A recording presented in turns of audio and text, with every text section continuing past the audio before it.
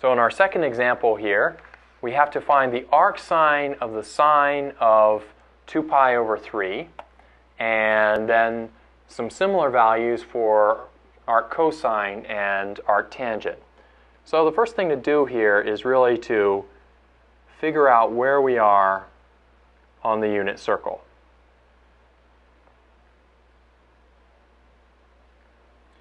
There's 0, pi over 2, pi, 3 pi over 2, and 2 pi.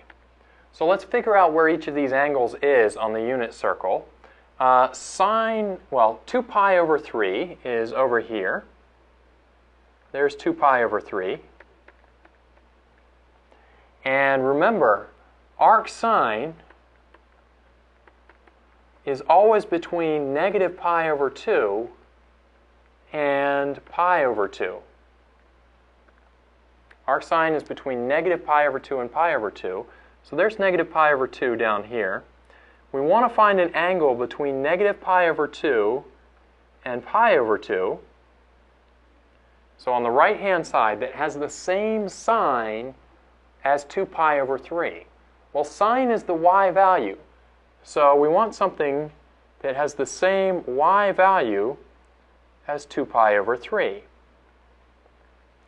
So that angle right there has the same y coordinate as 2 pi over 3.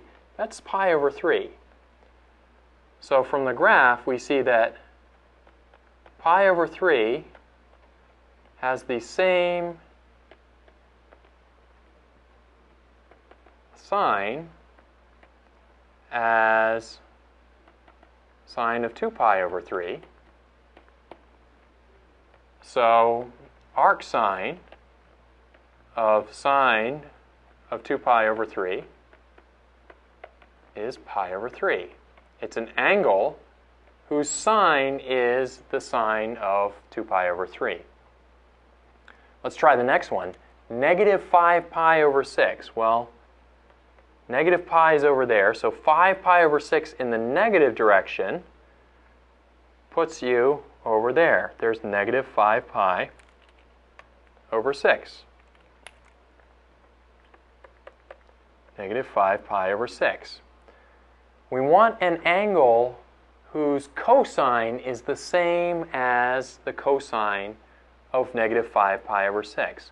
Cosine is the x value, so we want an angle that has the same x value as the one we just found. And there it is right there, 5 pi over 6. And that's between 0 and pi, which is the range for the arc cosine function. It's always between 0 and pi. So that means that arc cosine of the cosine of negative 5 pi over 6 is 5 pi over 6. That's an angle between 0 and pi that has the right cosine. Finally, we want to find the arctangent of tangent of 3 pi over 4. 3 pi over 4 is over there.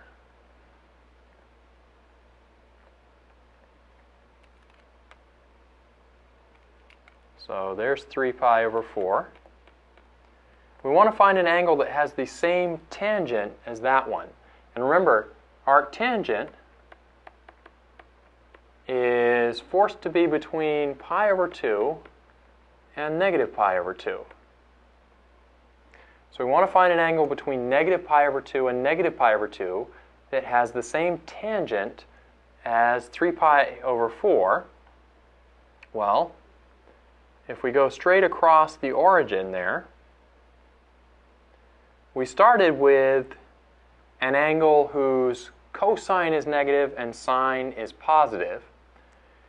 This angle right here has a positive cosine and negative sine. So it'll end up having the same tangent, and that angle is negative pi over 4.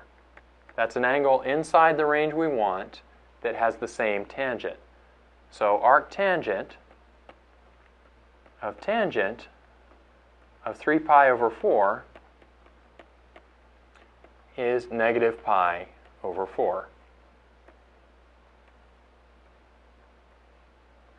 So those are really quite tricky.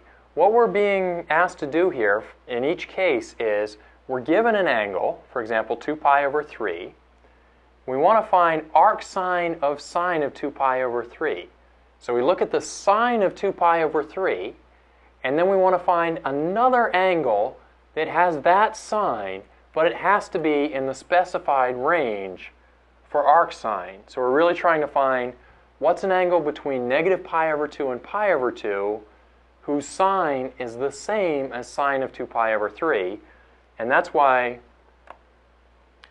we did this traversal to find the angle pi over 3 that has the same sine as the sine of 2 pi over 3.